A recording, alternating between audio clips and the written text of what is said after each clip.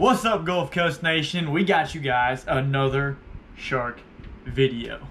Well, I had some high school friends coming from town. It's funny how when you move to the beach, friends come and visit. I'm just playing, but of course, when my friends come in town, what are we gonna do? We're gonna go. We're gonna go shark fish, man. We're gonna go shark fish. And I had some friends in town, and unfortunately, I was not able to make it to Sharkfish. But I think that you got it. Appreciate that, man.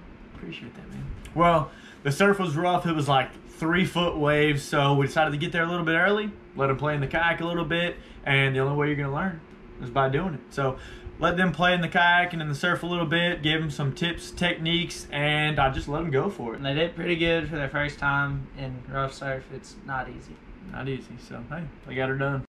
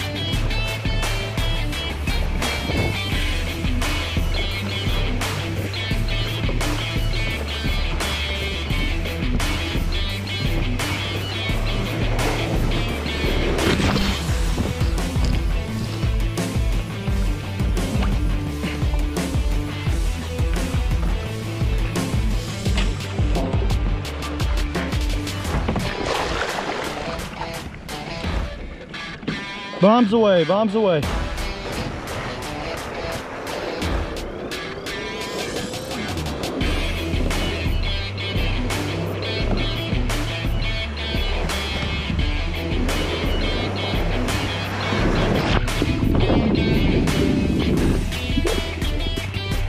We've got pizza.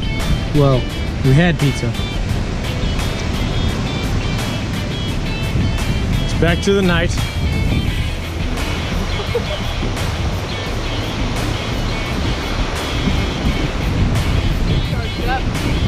Squad and her. you can see we got the rod out and then the blue one all the way down there. Can't really see it, but bait's out. We're fishing. Well, we got baits out. We got settled in, and we're just kind of hanging around the camp a little bit. Yep. And as y'all saw, the waves and the wind were bad, and that causes sea spray to kick up, and that'll get on the lens, and then it causes for like fuzzy video. But we still wanted y'all to see the action. So we got a little bit of slow start to the evening, but right around about 1 a.m. in the morning, heard that rod slowly start going off, and we knew it was on.